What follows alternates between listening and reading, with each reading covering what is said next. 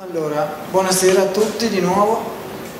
Eh, l'argomento di questa serata è a mio parere molto importante per introdurre un ciclo di serate che, eh, a cui Roberto insomma, vuole dare un certo peso all'interno di Kesher, cioè un ciclo di serate sull'etica, cioè sul peso etico che c'è nella tradizione ebraica. Il, il problema di fondo è eh, in qualche modo dare non solo principi fondamentali etici ma anche risvolti pratici per chi vuole seguire quello che è l'insegnamento dei maestri e quello che è il comportamento religioso di un ebreo. E come prima lezione non potevo che iniziare dal vedere in generale l'ebraismo che peso etico. Ha, cioè la domanda di fondo è interpretare il pensiero rabbinico rispetto all'etica. E partirei subito non solo dal citare la prima fonte che voi trovate a pagina 2 in alto, che è la fonte per eccellenza dell'etica ebraica, che è il primo versetto che trovate al punto 1, che è quello che cercheremo di commentare stasera. Lotti kon ve lotti toret vene amecha ve artale lecha kamocha ni Hashem. Traduzione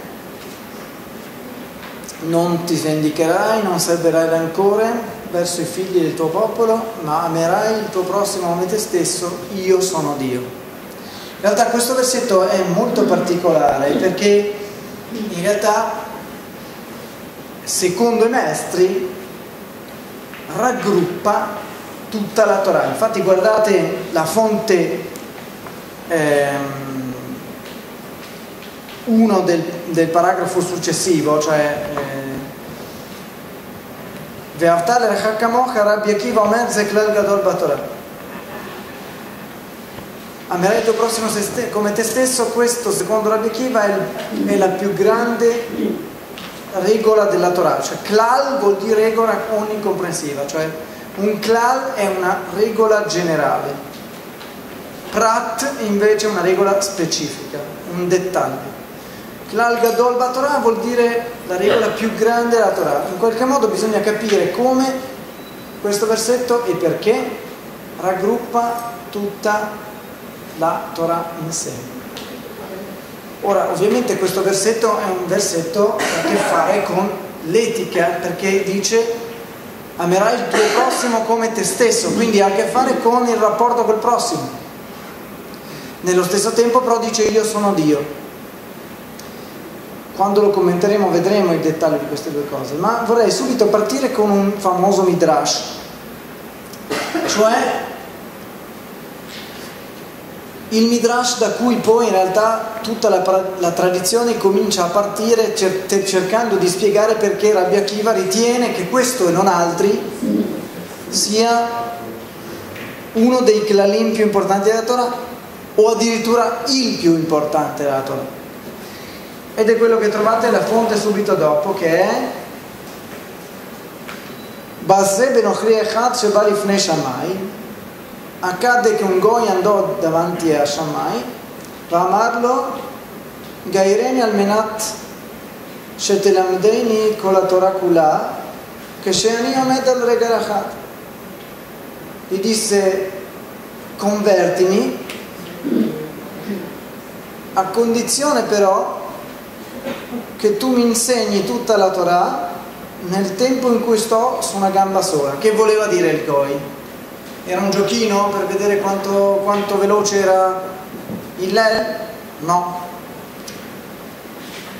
A condizione che tu mi insegni tutta la Torah nel tempo in cui sto su una gamba sola, vuol dire insegnami qual è il fondamento della Torah, qual è la gamba della Torah, l'unica gamba della Torah dimmi tutta la Torah non solo in breve, cioè nel tempo in cui sto su una gamba sola, ma dimmi tutta la Torah, dimmi la gamba della Torah, dimmi, voglio sapere la base della Torah.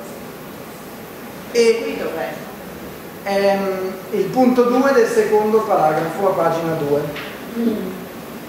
E risponde, il, risponde Shammai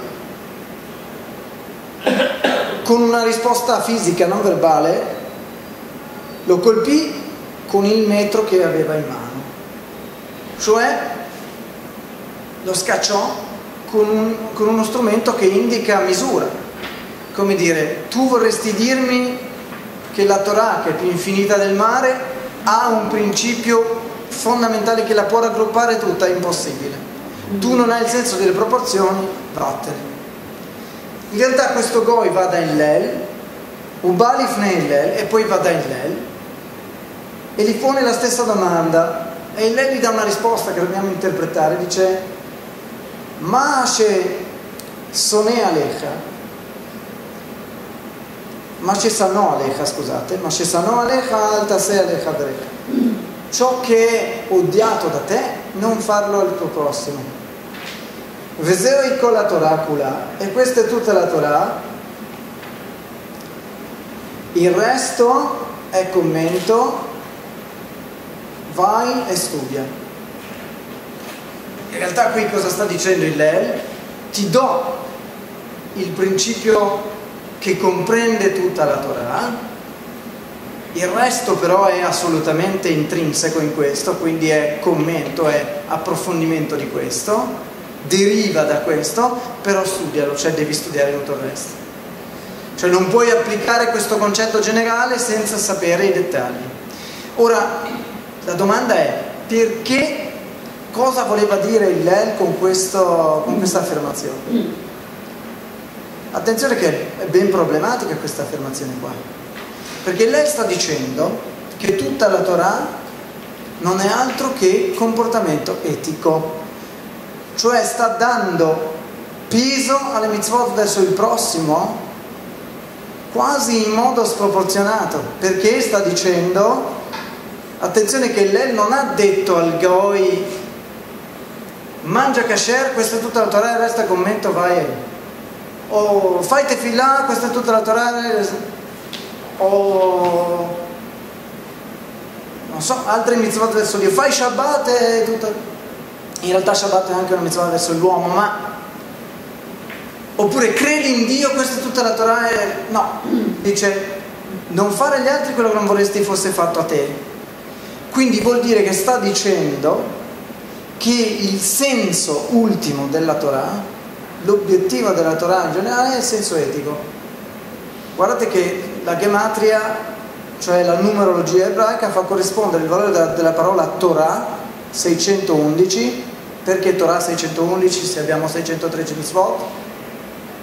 Perché due non sono perché due sono eh, i comandamenti che Dio ha dato per sua bocca direttamente al popolo di Israele, io sono il tuo Dio, non avere altri dei, e questi non vengono conteggiati, adesso poi vediamo perché non vengono conteggiati, comunque il valore 611 corrisponde alla espressione in ebraico che si, che si dice Gemilut Chassadim, opere di misericordia verso il prossimo. La parola Torah corrisponde a Gemilut Hasadim e Gemilut Hasadim è uno di quei commenti a cui si riferisce l'El, cioè di quelle norme pratiche intrinseche alla norma che ha detto il Lel.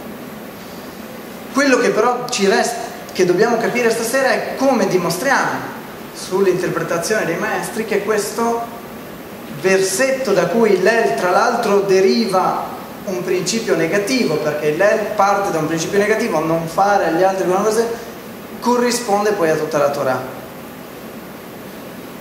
Già un indizio l'abbiamo avuto, se sulla Gematria Torah 611 corrisponde a Gemilut Hasadim 611, infatti i maestri sottolineano che l'essenza etica della Torah attraversa tutte le sue componenti, anche le norme rituali. Il versetto che noi abbiamo citato dice ama il tuo prossimo come te stesso, io sono Dio. Quindi vuol dire che in qualche modo qui Dio è sì la fonte del comandamento. Guarda sono io Dio che ti dico che l'etica la decido io, cioè ama il tuo prossimo come te stesso. Questo è ovvio perché? Perché se non fosse così l'etica sarebbe relativa, cioè quello che è giusto per me non è giusto per te, invece l'etica universale deve essere per forza divina, altrimenti è relativa al tempo e allo spazio. Quindi io sono Dio non è solo in funzione del fatto che sono io il legislatore dell'etica, perché altrimenti l'etica diventa relativa. Quindi l'etica non è un prodotto sociale, ma lo decido io che sono Dio. Ma è anche io sono Dio nel senso che se tu rispetti questo, rispetti me. Ora, in che senso possiamo cominciare a capire che la Torah in se stesso, secondo il Lel e poi secondo la letteratura rabbinica, è finalizzata a un aspetto etico. Non solo perché Maimonide dice le mitzvot servono per fare, per costruire pace nel mondo, eccetera, eccetera. Ma proprio perché, ad esempio, la Torah raggruppata con il Decalogo, che è il sunto, la somma della Torah in se stessa è prevalentemente, se non assolutamente, etico. È vero che le due tavole sono divise, la tavola verso Dio e la tavola verso il prossimo, ma in realtà qui i maestri sottolineano che anche la tavola verso Dio è verso il prossimo. Nel senso che, a parte i primi due, infatti Torah vale 611 e Gemilut Chesadim vale 611, a parte io sono Dio e non avrei altri dei, tutti gli altri comandamenti hanno a che fare anche col prossimo. Non pronunciare il nome di Dio in vano significa anche non giurare nel nome di Dio di fronte a qualcuno, o non strumentalizzarti, non farti strumento del nome di Dio per agire di fronte al prossimo, un po' come fanno quelli dell'ISIS, ok? E ovviamente lo, lo Shabbat, ovviamente i genitori, ok? Quindi e ovviamente tutti i comandamenti della seconda tavola, non uccidere, non rubare, eccetera, eccetera. Quindi già da questo punto possiamo capire perché il sceglie questa risposta al Ger. Gli dice io ti dico qual è l'unica gamba dell'ebraismo, cioè la gamba principale dell'ebraismo, che è non fare agli altri quello che non vorresti fare a te, perché usa un principio negativo dicono i maestri, usa un principio negativo perché è la prima cosa che dobbiamo fare, perché il versetto che noi abbiamo citato, se torniamo alla prima fonte, è lotti con velotti to, non ti vendicherai, non servirai rancore verso chi del popotimo. Quindi da qui impariamo che la prima cosa che dobbiamo fare è saper non danneggiare il prossimo.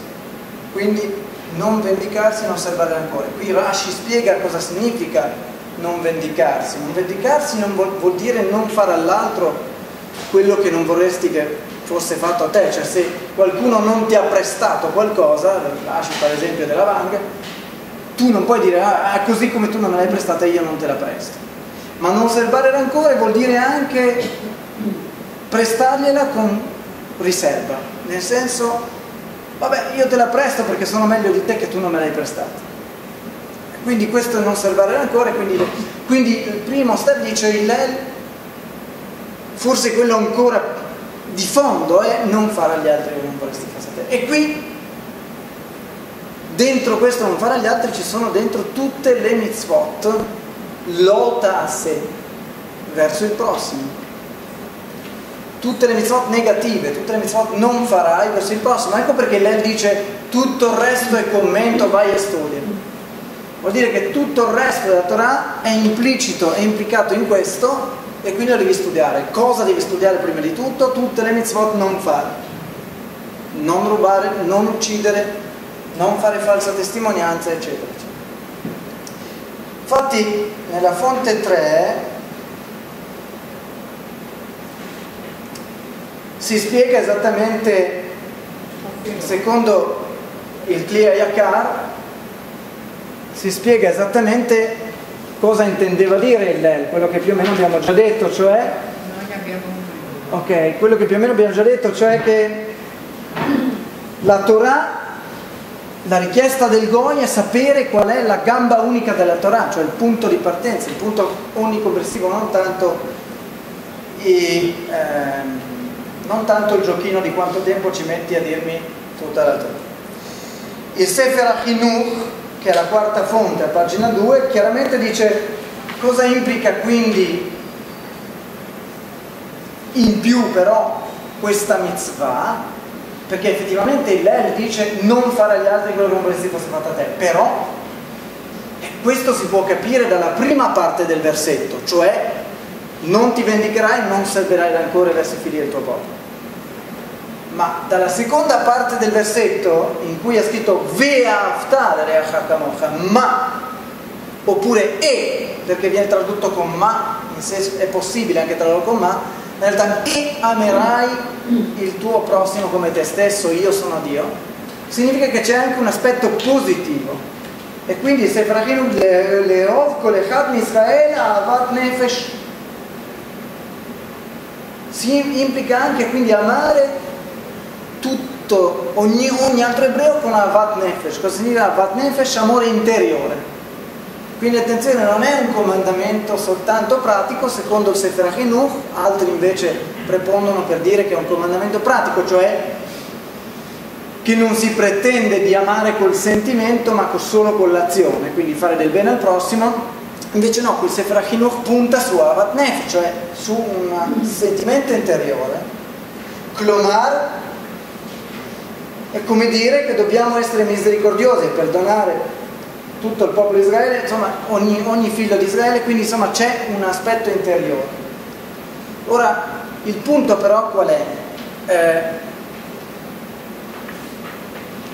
se abbiamo detto che ci sono due aspetti, uno negativo, non fare agli altri, e l'altro positivo, fai agli altri, quali gruppi di mitzvot sarebbero contemplate in questo modo di interpretare il versetto? Tutte le mitzvot positive verso il prossimo. Quindi fare tzedakah, fare gemilut chasadim, cioè tutto quello che accompagnare al funerale un eh, defunto, rallegrare gli sposi, aiutare colui che eh, ha bisogno, vestire chi non ha vestiti, quella che noi chiamiamo imitazio de, cioè imitazione di Dio nel agire bene verso il prossimo. Però Fin qua ci sono le mitzvot verso il prossimo. In che senso queste raggruppano tutta la Torah? Perché la Torah è fatta anche di aspetti rituali. E i maestri si chiedono, benissimo, se abbiamo detto che il Lel vuol dirci che tutta la Torah si basa su aspetti etici, da questo versetto come facciamo a richiamare il fatto che anche gli aspetti rituali sono compresi in un aspetto etico?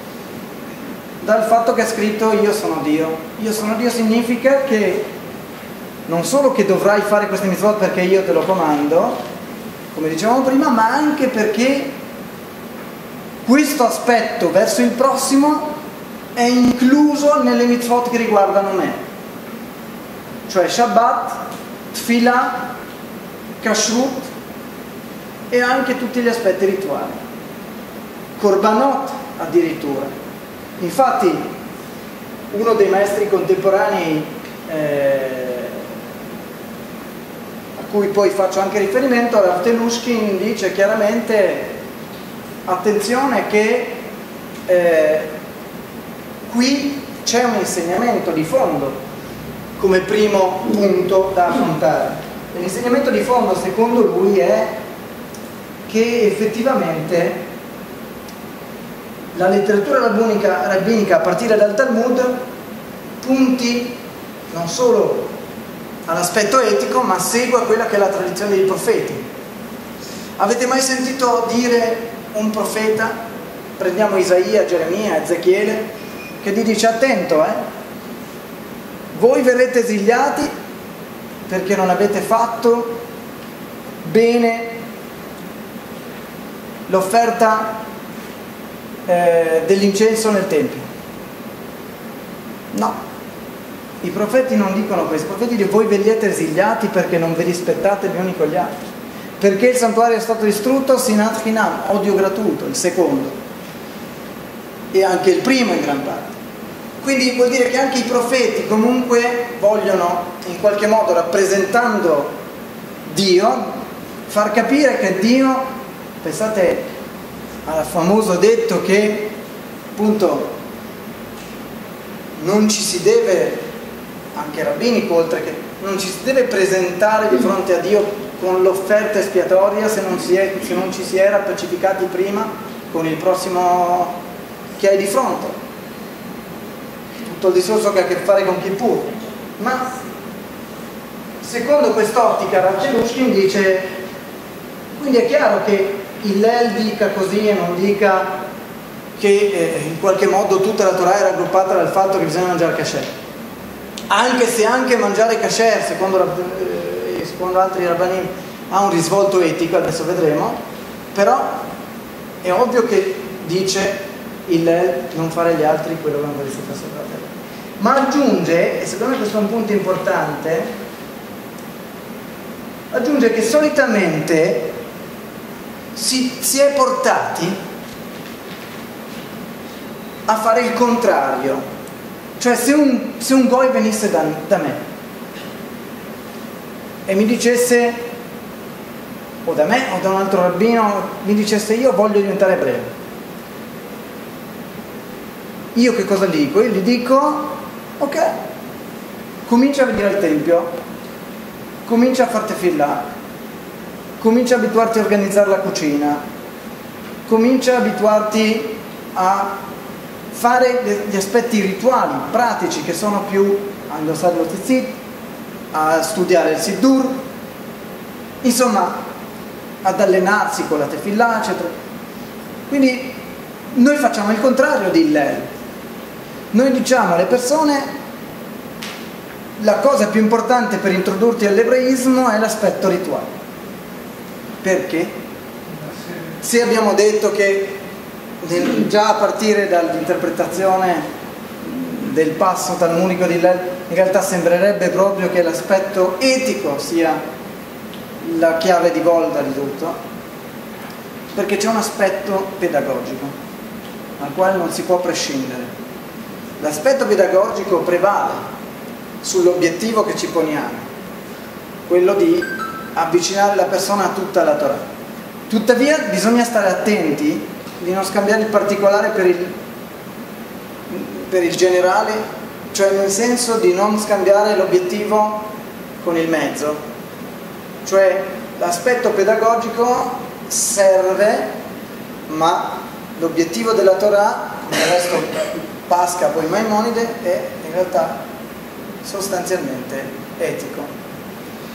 E, però adesso c'è una domanda di fondo se torniamo al versetto, a chi si rivolge il versetto? Agli ebrei o a tutti? È chiaro che nella prima parte del versetto è scritto Loticon velotitoret beneame. Non, non ti vendicherai, non servirai ancora verso i figli del tuo popolo. Nel secondo, nella seconda parte del versetto però c'è scritto Ve'avtare al amerai il tuo prossimo come te stesso. E allora che cosa vuol dire Reacha, il tuo prossimo? E ci sono vari, vari commenti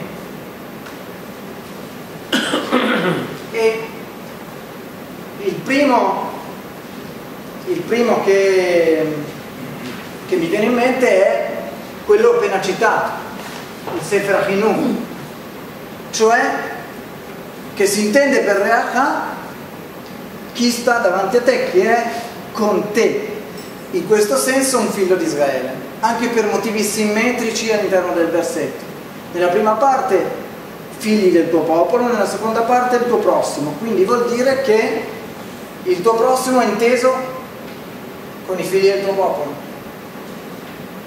Quindi con colui che è con te. Infatti qui i maestri pongono una domanda, cosa significa Kamocha?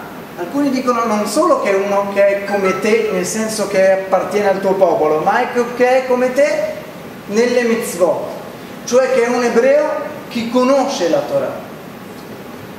Chi è lontano dalla Torah per scelta, scusa, chi è lontano per, dalla Torah per scelta, allora non è contemplato nel tuo prossimo. Chi è lontano dalla Torah, dalla Torah per scelta non è oggetto di questo amerai il tuo prossimo. In realtà poi c'è una successiva interpretazione che dice sì, si intende colui che volontariamente si distacca dalla Torah. Al giorno d'oggi la maggior parte delle persone non si distaccano dalla Torah volontariamente, ma sono tinococinistu, sono colpanti in prigionia, cioè persone che hanno vissuto la loro vita inglobati in un sistema educativo che ti allontana dalla Torah contro la loro consapevolezza, quindi non possono essere tenuti fuori dal tuo prossimo inteso come colui che vive nella Torah. E in più, quindi, ci sono altre fonti che voi vedete più avanti che brevemente che implicano quindi che il nostro obbligo è sicuramente di contemplare e di includere queste persone in questo comandamento e in più di avvicinarle alla Torah. Ma c'è anche un'altra fonte che dice che in realtà questo prossimo ha a che fare anche con altre persone che non sono colui che è come te nella Torah e nelle mitzvot. La fonte è, non è tra quelle da me copiate in ebraico, ma è una fonte eh, molto importante che è il Bereshit Rabbah, in cui si discute appunto su eh, quale sia il principio secondo cui la Torah si fondi e Benazai ha un'opinione diversa da Rabbi Akiva.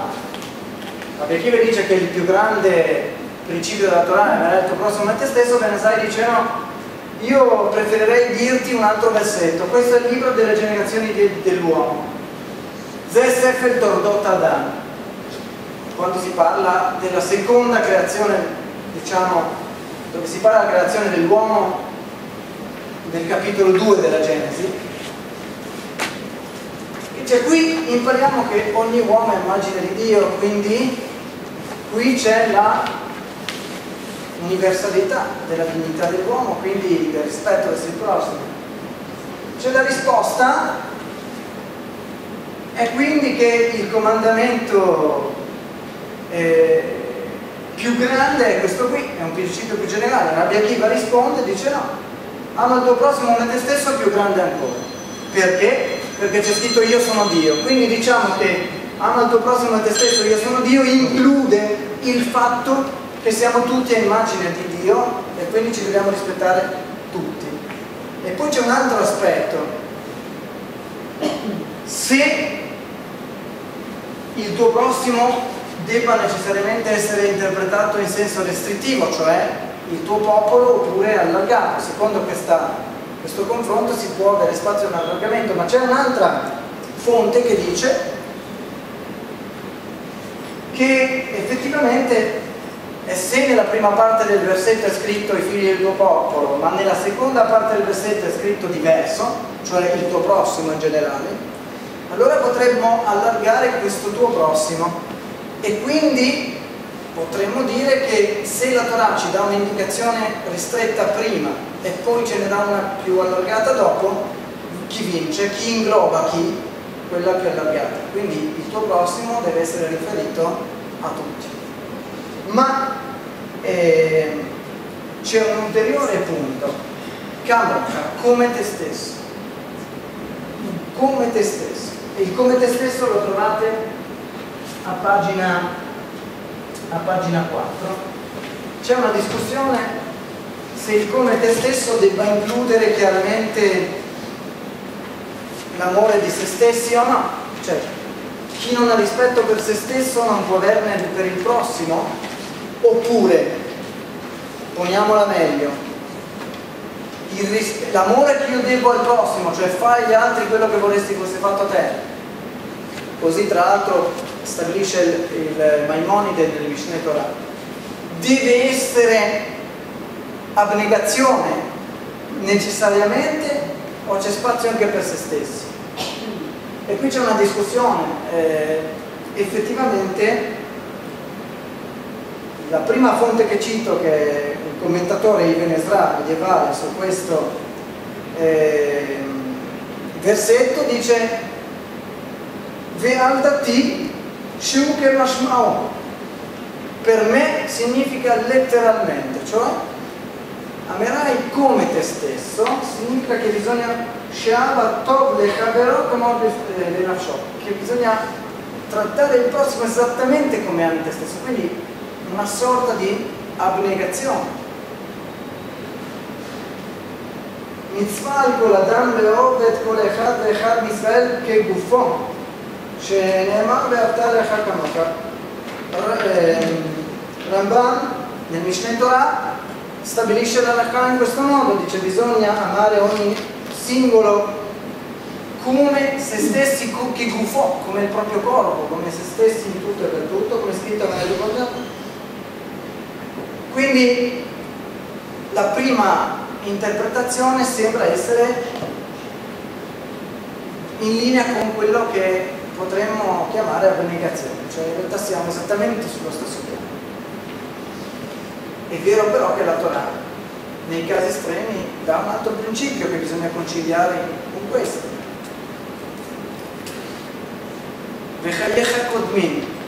la tua vita viene prima.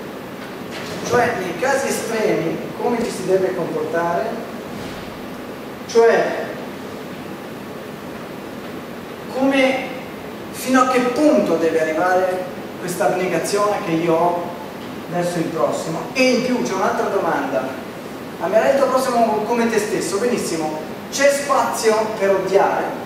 In quali casi invece non sono tenuto ad amare più che a odiare? E la risposta è questa. C'è chi interpreta appunto come Rabbi Akiva Kamocha limitato dal fatto che comunque la tua vita viene prima.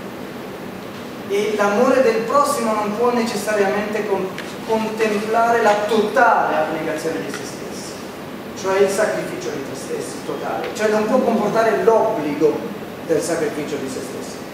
Infatti c'è quel famoso esempio nella Gemara in cui si racconta che due persone hanno la stessa borraccia di acqua, quantità di acqua che basta solo per uno, e solo uno si può salvare arrivando a destinazione con la, quella quantità di acqua. In realtà quella quantità di acqua basta solo per uno, quindi se la bevono tutte e due muoiono tutte e due. La domanda è chi la deve bere? Se, secondo la Akiva la deve bere colui che la possiede. Cioè che a quel punto appunto ciò che noi dobbiamo fare per il prossimo non necessariamente ci obbliga a sacrificare se stessi. Ciò non toglie che il sacrificio di se stessi, se è una libera scelta, non sia contemplato. Cioè se io per libera scelta in accordo con chi mi sta di fronte scelgo di sacrificare me stesso per l'altro è una scelta possibile ma non è un obbligo. Perché il kamocha di Beatara kamocha si deve conciliare col, col principio che comunque la tua vita ha la precedenza o con un altro principio che è un'interpretazione a sua volta rabbinica di questo principio che il tuo sangue non è più rosso del mio e il mio sangue non è più rosso del tuo, quindi il mio diritto alla vita è uguale al tuo, ma quindi in un caso estremo sono libero poter pensare prima a. C'è però sempre spazio alla scelta del sacrificio. E un'altra domanda che si, che si pongono però i maestri è, benissimo, c'è spazio per il non necessariamente non agire in questo modo per il prossimo. Abbiamo già detto prima che sembrerebbe da alcune fonti, e queste le trovate a pagina 5, che Amar Bismael Barizan Amarlav Mutares cioè da un versetto che compare nei Salmi scritti da Davide si potrebbe dedurre che appunto chi non è contiene la Torah, chi, un, chi si autoesclude in qualche modo dalla via etica della Torah, può essere odiato. In realtà qui c'è la discussione E, e la conclusione chiaramente è che c'è un limite e soprattutto l'odio non è verso la persona in sé ma è verso quello, quello che la persona rappresenta, cioè ti devi tenere lontano dal cattivo comportamento morale, quindi devi odiare il comportamento morale e non il peccatore. C'è un altro brano famoso nel Talmud in cui, eh, adesso non vorrei sbagliare il nome perché qui non me lo sono sentito, Rabbi Meir, sono quasi sicuro che Rabbi Meir, in qualche modo era infastidito dal comportamento fastidioso e immorale di alcuni suoi vicini e pregava per la loro punizione divina, per la loro morte. La moglie gli dice cosa fare? Tu sei un azzadì e preghi per la loro... non devi farlo.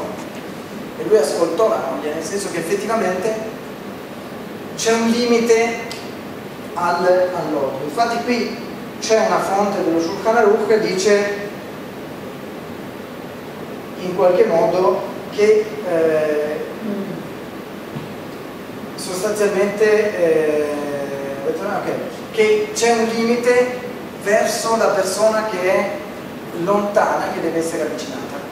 Pone la fonte su tamitecha tu quando devi rimproverare il prossimo per una colpa o per un comportamento immorale o un comportamento non previsto dalla Torah lo devi fare sempre che questo non causi una reazione negativa, sempre che questo non sbianchi il volto in pubblico, sempre che questo in qualche modo comporti solo un'osservazione in merito a quello che la persona fa. Tant'è vero che c'è una bellissima, c'è un racconto che è riportato a nome del Hasonish, in cui un suo alunno, che è il più grande maestro del turismo Caredi del Novecento, che il suo alunno gli chiede, vabbè ma io ho un vicino di casa che sta eh, trasgredendo Shabbat pal palesemente perché puta al giardino, cosa devo fare? Devo rimproverarlo? Devo in qualche modo regolare? Dice no, perché è scritto non, che, che, così come mitzvah dire qualcosa che verrà ascoltato, mitzvah anche dire qualcosa che non verrà ascoltato. Quindi significa che c'è un limite al rimprovero, c'è un limite al limite. Altri addirittura dicono che non solo ci sono dei limiti, ma che questo eh, in qualche modo prendere le distanze da Rasha in realtà eh, al giorno d'oggi non è applicabile proprio perché Tinokot Shenisbu sono compatti prigionieri quindi nessuno si distacca dalla Torah volontariamente. Ci sono una serie di mitzvot collegate alla mitzvah che abbiamo visto stasera, il versetto che abbiamo visto stasera, tra le quali appunto Gemilut Fasadim, tutto quello che comporta eh, sostanzialmente eh, gli Achnis Rochim ad esempio, ospitare persone senza una dimora o anche temporaneamente, fare in modo che una coppia possa sposarsi, rallegrare le persone tristi così come si rallegrano gli sposi. Assistere e visitare i malati, um, l'Itasek col suo Pezzibur, occuparsi del bene comune, del pubblico, comunitario, accompagnare e consolare coloro che sono in lutto, e, qualche, e occuparsi della sepoltura. E in qualche modo tutto un altro quindi vuol dire che l'obiettivo di questa risposta di Hillel è farci capire che l'essenza della Torah in qualche modo non può passare che attraverso questo versetto. Tutte le mitzvot negative verso il prossimo sono contemplate. Non fare agli altri quello che non vorresti tutte le missioni positive verso il prossimo sono contemplate, fai agli altri quello che vuoi essere Io sono Dio, nel senso che tutto questo ha a che fare anche con le mitzvot che riguardano me. Non solo che io sono la fonte da cui derivano queste mitzvot, ma se rispetti il prossimo rispetti me. Infatti dice il Balcentov, così come uno rispetta se stesso con i suoi difetti, è tenuto a rispettare il prossimo con i suoi. Nella misura in cui uno rispetta il prossimo, dice, si capisce quanto egli rispetta Dio. Questa è, detta proprio a livello bambini elementari, un sunto della halakha che deriva da questo versetto. Però c'è qualcosa di più di cui vorrei parlare stasera, che ha a che fare con tutto ciò che è collegato con questa mitzvah. È collegato con questa mitzvah il, il versetto che si trova poco più avanti, questo versetto è in Levitico 19-18, benissimo, tre versetti più avanti c'è scritto di amare lo straniero perché voi foste stranieri in terra d'Egitto. Quindi noi conosciamola perché tu conosci l'anima dello straniero. Nefesh. Quindi tu conosci la condizione, quindi questo amare il prossimo come te stesso è comunque collegato anche all'amore di colui che è straniero. Altri versetti che sono collegati a questa mitzvah? A livello pratico e vengono citati sono se il bue del tuo nemico e il suo asino si è smarrito abbi pietà di, di riportarlo. Se il tuo nemico ha fame dagli da mangiare se ha sete dagli da bere. Questo nei proverbi il precedente è in Shemot quindi sostanzialmente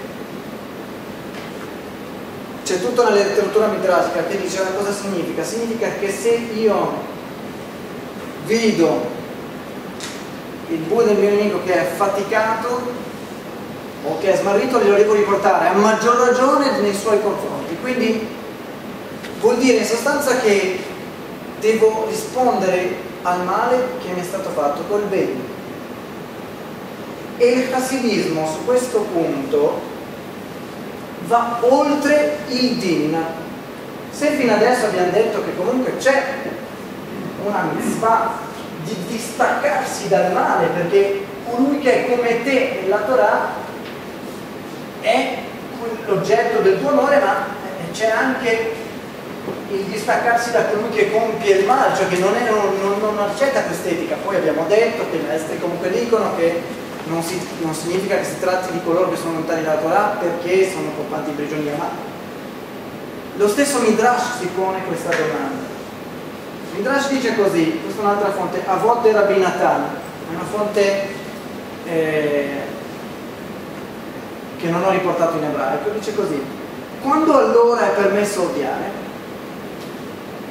Un uomo può pensare di dire si amano i maestri si odiano gli allievi, oppure si amano gli allievi e si odiano gli incolti, cioè gli ama-arez, cioè quelli che sono ignoranti, per cui si ami ogni persona e si odino i kofrim, cioè coloro che negano i principi fondamentali della Torah, o i mumarim, eh, gli apostati, eccetera. Così ha detto il re David nei Salmi, che dicevamo prima, dice non odio forse quelli che ti odiano e non detesto i tuoi nemici, nemici del Signore sostanzialmente, nemici della Torah, li detesto con un odio implacabile, come se fossero miei nemici, dice David. Non è infatti detto però nel testo amerai il tuo prossimo come te stesso, io sono Dio, qual è il senso quindi di tutto ciò?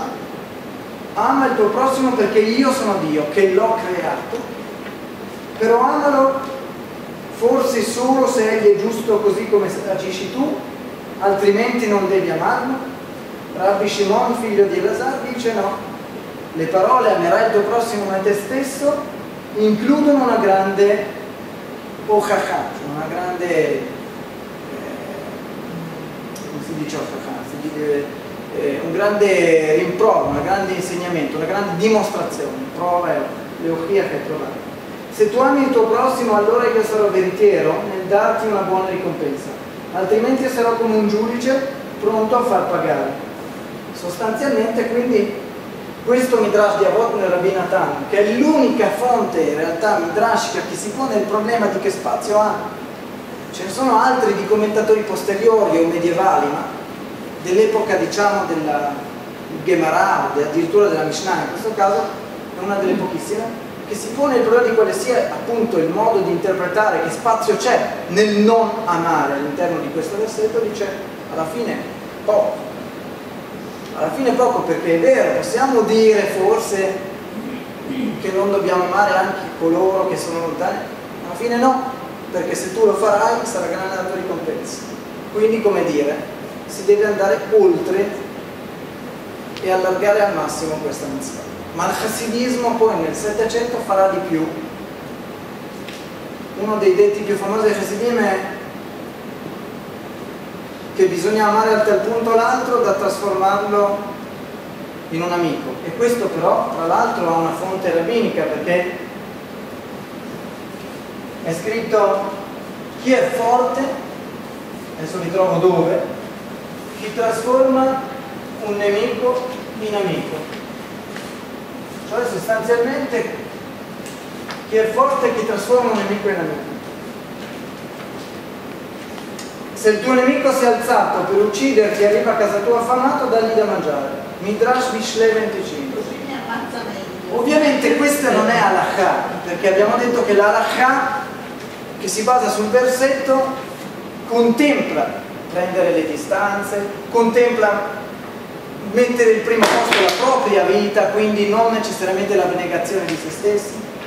Però la fonte, ecco, chi è santo, chi è, in realtà la traduzione non è esatta, chi cambia un nemico in amico, a volte nella vita della vita della Binatan 23, esattamente la stessa fonte midrashica che citavo prima, cioè il midrash va oltre l'alakha e una parte della tradizione chassidica basandosi sul principio che spesso viene a essere base per un comportamento anche anarchico, anche, si basa sul principio di Flimi Shobatadim, va oltre la linea della legge, quindi anche il pensiero chassidico in qualche modo fa proprio questa visione. Chi è veramente forte, chi è che applica bene questa mitzvah, chi trasforma un nemico in amico.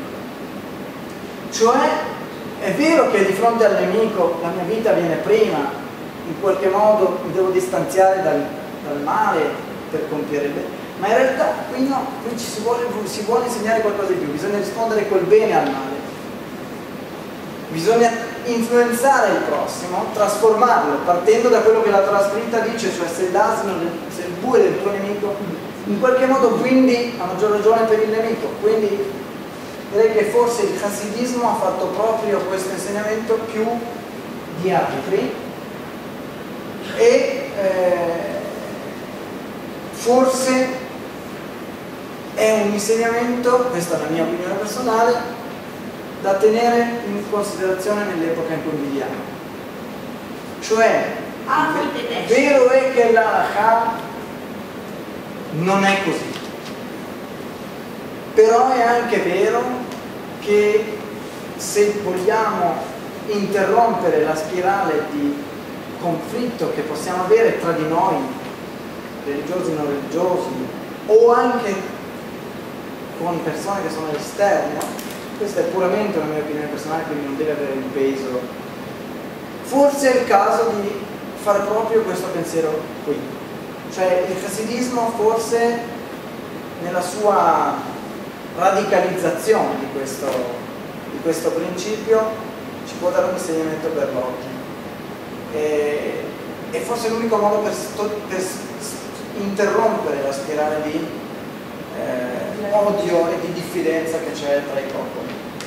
Cioè se qualcuno mi fa male, io gli rispondo col bene. Così che non potrà più dirmi che ha dei pretesti per agire male nei miei confronti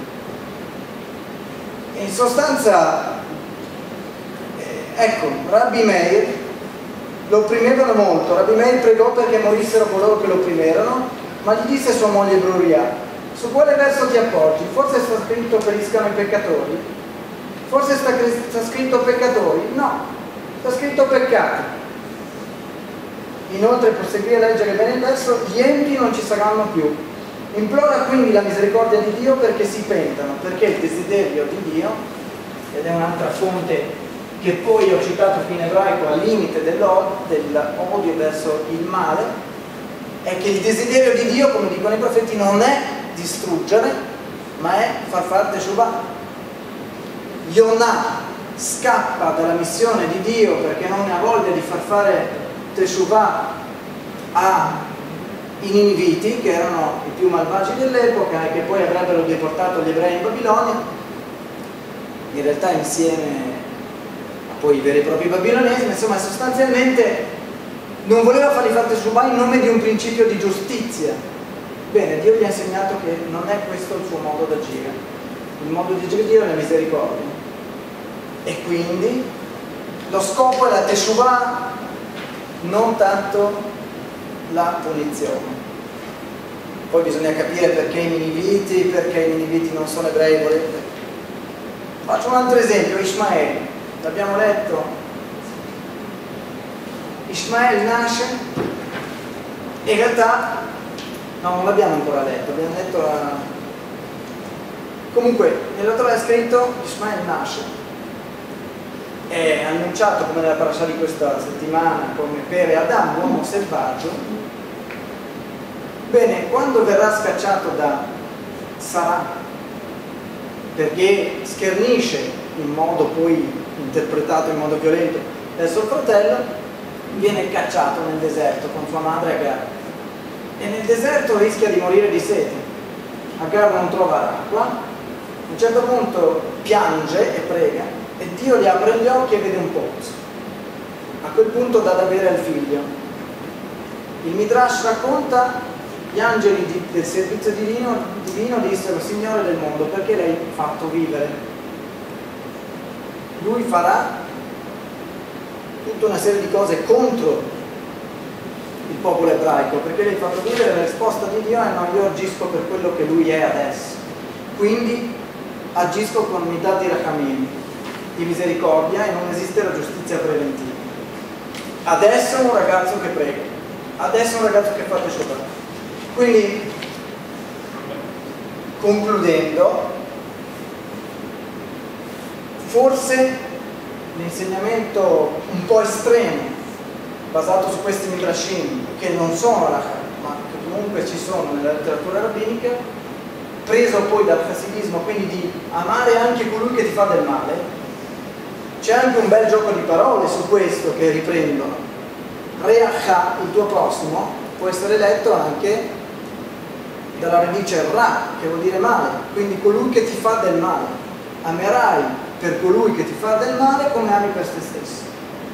Cioè, Kamocha vuol dire farai al, per il prossimo di tu, tuo tutto quello che faresti per te. Cioè chi si spinge addirittura nella letteratura considera a portare avanti questa interpretazione, che ripeto non è pratica, non è un'indicazione pratica, ma c'è. E forse ci può servire per in qualche modo scardinare quello che è poi eh, la spirale di violenza di odio tra i popoli. Mi fermo per ora qui, ci sarebbero moltissime altre cose, un una parte del, del, materiale ve l'ho dato e, e si potrebbe poi approfondirlo o successivamente o in altro esempio. Io volevo dire che ci sono tantissime belle parole, sta di fatto che molti, anche persone molto religiose, sono molto aggressive. Questo è un dato di fatto.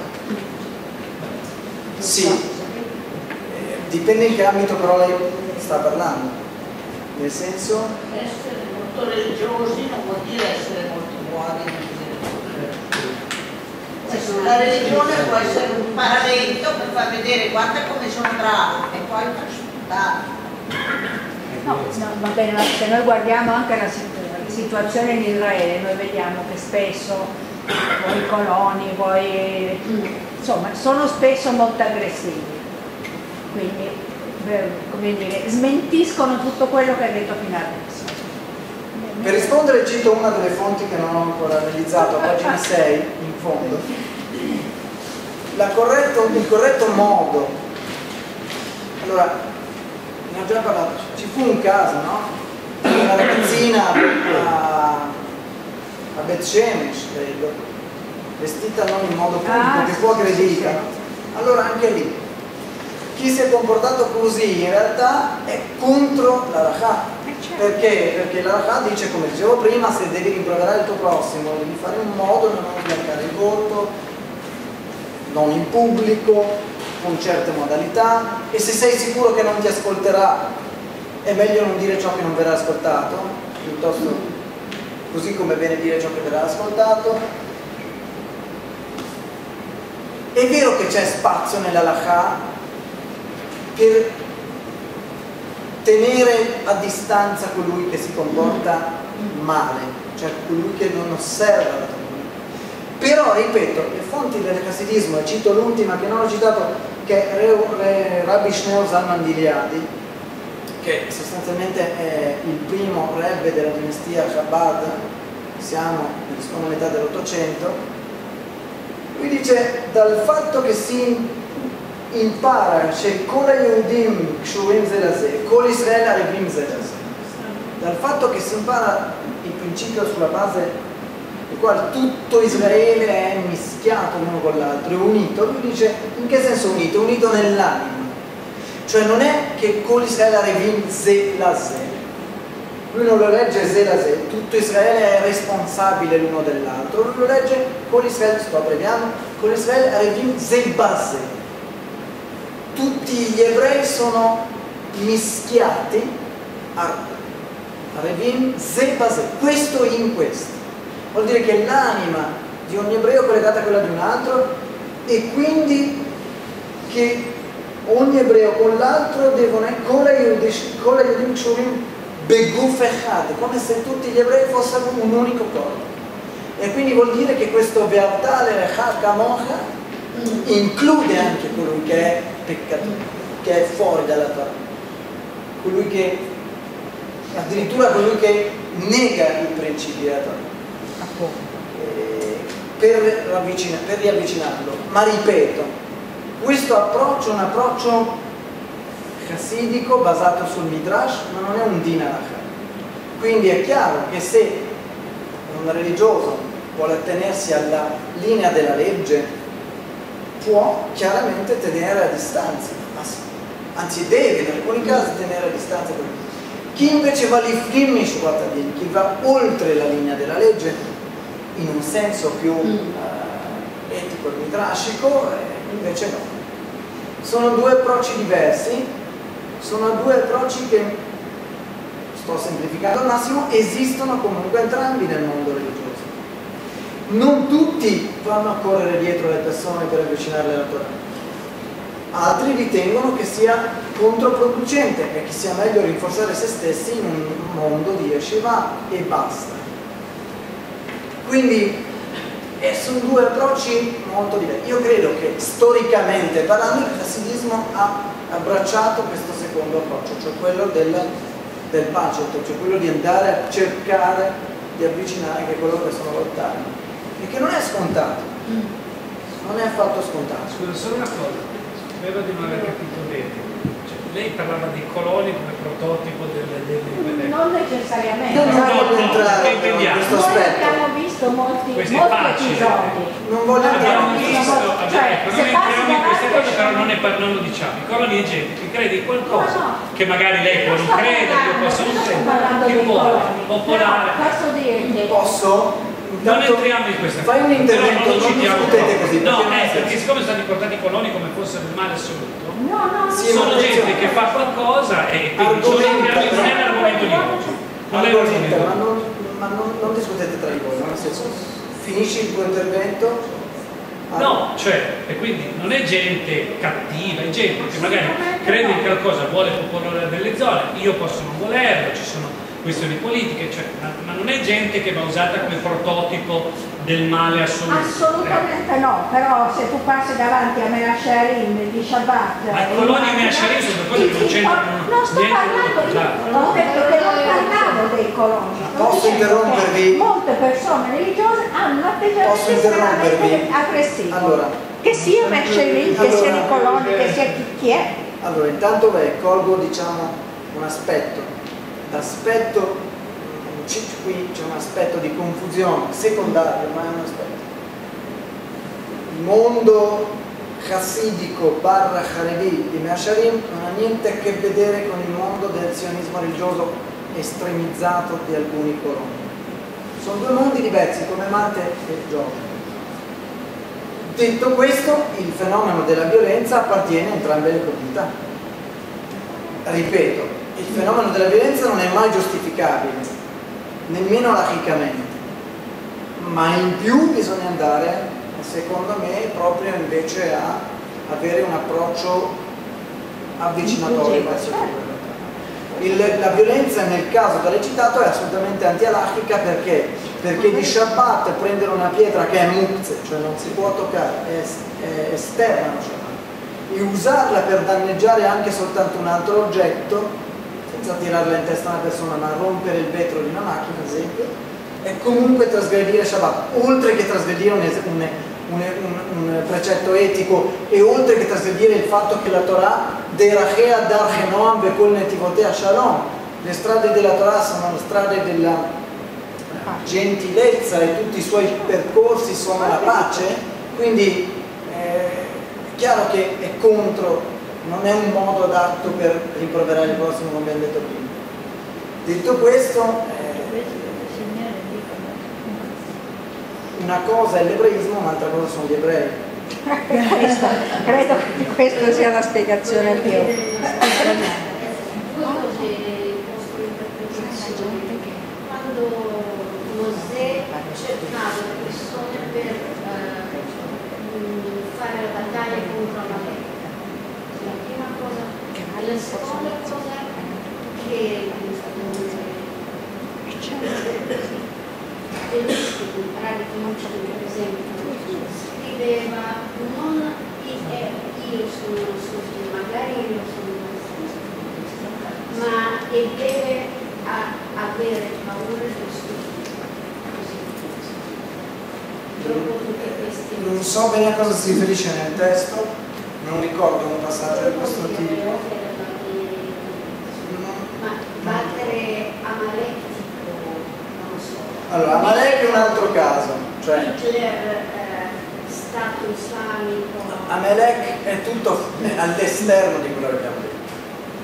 Perché? Perché Amalek in realtà nella Torah rappresenta poi anche simboli, simbolicamente nella letteratura rabbinica tutto ciò che è anti-ebraico per eccellenza, anti-popolo di Israele.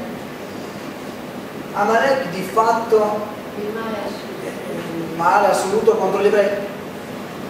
La domanda anarchica è, oggi esiste Amalek fisicamente, cioè esiste un popolo di cui abbiamo il dovere di non solo difenderci, ma cancellarne il ricordo? Esiste, Tecnicamente no, non esiste fisicamente un popolo che si identifichi con Amalek e che si abbia l'obbligo di eh, di, eh, in qualche modo cancellarne addirittura il ricordo. Non c'è. C'è. Figurativamente si dice che tutti coloro che predicano lo sterminio degli ebrei siano Amalek, cioè che Hitler fosse Amalek, ma non, non abbiamo dal punto di vista tecnico il dovere di difenderci e non solo di difenderci ma di cancellare il ricordo di Amalek nei confronti di queste persone oggi viventi perché non sono di fatto veri discendenti di Amalek. l'ultimo di cui sapevamo esattamente che era discendente di Amalek era Amman. Dopodiché non abbiamo oggi concreta, la concreta presenza del popolo di Amalek, quindi tutto quello che sono le alachot sul cancellare il ricordo di Amalek non sono applicabili verso le persone che sono qui al mondo oggi e quindi non, non è applicabile. E allora, se, se uno vuole ucciderti eh, si sveglia prima di uccidere. Sì, il principio anarchico che dicevo prima è non solo che la mia vita ha priorità, ma c'è anche una resistenza che dice se uno viene lì a ucciderti, difenditi e precedilo. Chiaro. Poi ci sono quelle fonti midrashiche che però abbiamo visto prima. Estreme. No? Se il tuo nemico no? Se il tuo nemico si è alzato per ucciderti, arriva a casa tua affamato, dagli mandato. Midrash Mishle. Midrash Mishle 25, sì ma non è halakha, però è un modo di, di, di rispondere al male ed è un modo che il pensiero tassidico ha fatto proprio, bisogna tenerlo in Se considerazione. viene uno in casa mia che ti vuole uccidere, io lo invito a bere il tè. Magari non ti uccide perché poi pensi, pensi appunto vabbè, ma è, un- è un'idea estrema, un'idea che non ha a che fare con la LACA. Chiaramente non prevede questo, l'abbiamo detto più, però volevo darvi un po' anche provocatoriamente questo spunto su cui poi si basa in parte la letteratura classifica, che in realtà poi ci richiama a insegnamenti che non appartengono alla nostra tradizione religiosa, ragazzi- giusto? Però, però anche se non appartengono Lasci, alla lasci, tradizione lasci. religiosa, in realtà per una parte di somiglianza la troviamo anche nel Midrash e nella letteratura. Allora è giusto dire se Adesso? picchiano da una guancia, porgi l'altra guancia. Arriviamo a quel punto lì. La fonte c'è nel, nelle carte, nelle lamentazioni, in quello che leggiamo a. Ammazzati. C'è scritto l'uomo porca la, la guancia a chi lo colpisce. Chiaramente è scritto, non è halakha, non è interpretato in questo senso. Ok, Dalla la casa- perché forse si può anche eh, interpretare, non dico in maniera allegorica, ma in maniera figurativa. Sì, assolutamente. Ed è questo il modo in cui viene interpretato all'interno della lettera rabbinica. Ciò nonostante c'è una parte di... Altrimenti eh, se uno prendere? lettera Certo. Certamente, però un po' provocatoriamente volevo farvi presente queste, queste. Significa che imparato dai... Non, non saprei dirlo, però comunque c'è questo aspetto. Molti casi però è si può anche applicare capisce concetto eh, il cap- Lo metti sul testo. mossa, deve stare e molto esterno proporre.